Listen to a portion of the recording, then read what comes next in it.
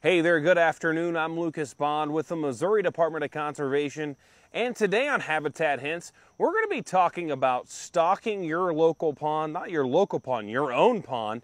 And I have MDC's Andrew Branson here with me, and he's going to tell us all we need to know about how you stock your pond, when you should stock your pond, and so much more. So let me turn this around and we'll talk with Andrew. Hey there, Andrew. How are you today? Lucas, I'm doing great. Good, good. So Andrew, we're stocking we're talking about stocking your pond today. First and foremost, when you create a pond, what is the first thing you need to do when it comes to stocking? Yeah, stocking the pond is real important uh, to get it right at the beginning in order to have a successful fishing pond. Um, there are all different types of fish you could stock, but there are certain ones that if you add them at the right time, it creates for a good overall balance, overall fishing, and those species are bluegill, bass, largemouth bass specifically, and channel catfish. Those are the, the three that we recommend to provide good fishing. Now, when stocking your pond, when is the best time to stock your pond? Like right now here in the hardest summer, probably is not the greatest time to stock your pond?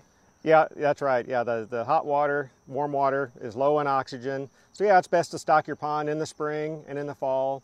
Uh, if it's a brand new pond, there's no fish in it, maybe a newly built pond or a pond that's been renovated, what we recommend is that you start out by stocking bluegill and channel catfish in the spring and then let them grow a little bit. These are going to be small little fingerling type fish that they get. Uh, but you stock those in the spring, they grow up a little bit, and then in the fall you stock the predator fish. Those are the largemouth bass. And at that point, the bluegill, channel catfish are big enough that they can kind of compete and the bass will feed on them and overall it makes a good balance. Uh, and then at that point, you've got a good little system set up there.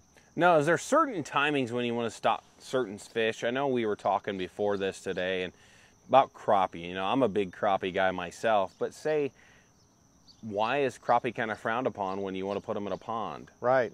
Yeah, again, crappie is not one of the three that we mentioned. Um, now you can do crappie, you can be successful, uh, but there are things to know with crappie. Crappie uh, fills the role as, as a predator. It's like that largemouth bass. So crappie are wanting to feed on the bluegill, and if you've got largemouth bass and crappie in your pond, you can have a problem with there not being enough bluegill to go around. And what people often run into is they'll say, well, I've got crappie, but they're, they're paper thin, or my bass are thin and don't get very big. And that's typically because there's not enough bluegill to go around to feed them. So we, uh, we recommend not going with crappie. But if someone does want to go with crappie, because like you said, boy, crappie are they're tasty, mm -hmm. they're good to eat, fun For to sure. catch. Um, it's all about controlling the numbers. You don't want to have so many crappie, so many bass that there's not enough bluegill. Uh, so to be successful with crappie, you need to have largemouth bass also, because the bass get bigger. The bass are actually feeding on crappie too a little bit. So bass help to kind of lower those crappie numbers so they're not overpopulated. Um, so again, going with bluegill, channel catfish, and largemouth bass, it all works out. The bass feed on that. There's enough food for everybody. If you throw in that other predator, the crappie, you can kind of have some issues. Uh, so make sure you have a good bass population to kind of keep those crappie thin down too. Now, how you know when you say a good amount, is there like a size of the pond, how many fish kind of thing? How you how do you decide how many fish to go with? Yep. And so forth. Yeah, the size of the pond is important. Um, that determines how many fish to stock with. Also, the part of the state that you're in. If you're in northern Missouri, stocking rates are different than in southern Missouri. And the best way to find out those numbers is we have information on our website about pond stocking. And we have a Missouri Fish Producers Guide, and that directs people to where they can actually purchase fish. But on that guide, it also talks about how many fish you need to stock per acre, depending on where you live. So that's a good that's a good gauge to go, go by. Uh, the other option, and this is maybe the better one, is to uh, if you're if you're getting involved with this, contact your local fisheries management biologist for your county. That you can locate them on our website.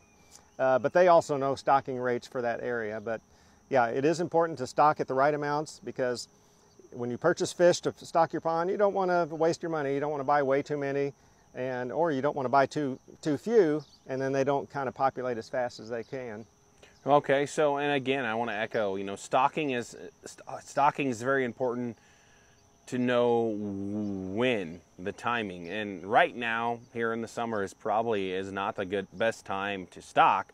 Yeah. You would recommend early, early spring, or fall or late right. fall.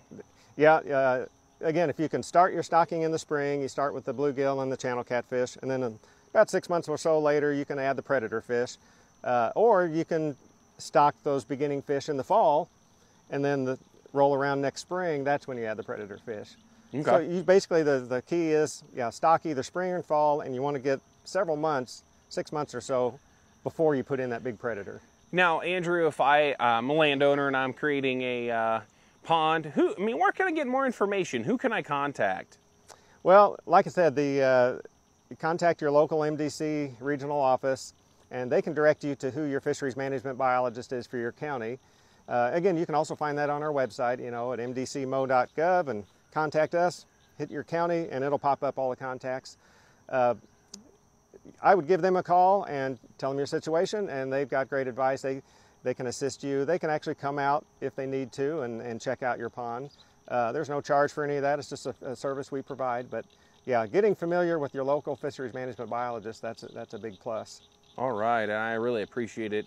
Uh, really appreciate it, Andrew, and I'm going to echo what he said. You know, if you want to learn more about uh, stocking your pond and more information about different uh, things on ponds, you can check out our website at mdc.mo.gov. I hope you all have a great and wonderful day.